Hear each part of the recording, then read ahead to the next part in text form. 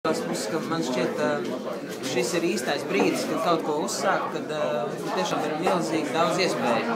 Mums ir uh, šobrīd arī brīnišķīgi cilvēki pie, pie, pie varas slēdzīšiem, kuri tiešām arī domā radoši, kuri domā uz priekšu, uz augšu un gaiši. Un tāpēc es domāju, nevienam ir kaut kādas domas vai vēlme to realizēt šeit, šobrīd Latvijā, es domāju, ir pilnīgi īstākais brīdis. Un, uh, un noteikti nevajag baidīties un skriet kaut kur, kaut kur prom. Es domāju, vēl pamēģiniet gadu uh, vai divus to savu, savu lietiņu iekustināt. Es pārliecināts, ja viņai, ja viņai ir tiešām uh, kaut kāds arī pamatots sagums, un ja tas tiešām nāk no sirds un patiesi, tad tas nevar neizdoties.